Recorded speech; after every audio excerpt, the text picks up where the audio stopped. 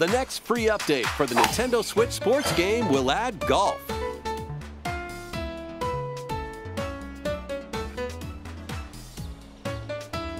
Hit the fairway in local play. Plus, up to eight players online can swing their clubs at the same time on the same course in survival golf. Get the most strokes, and you're out. This free update launches this holiday.